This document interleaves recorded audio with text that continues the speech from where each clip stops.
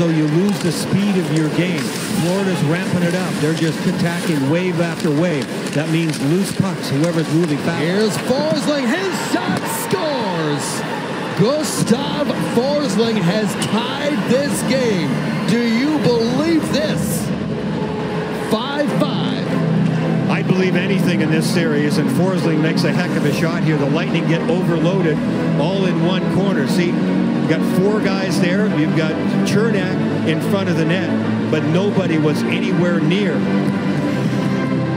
Kind of a combination of lines out there.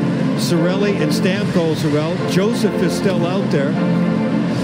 And Joseph, who normally is the right winger, who should have been out more in the middle of the ice. Forsling is all alone. He's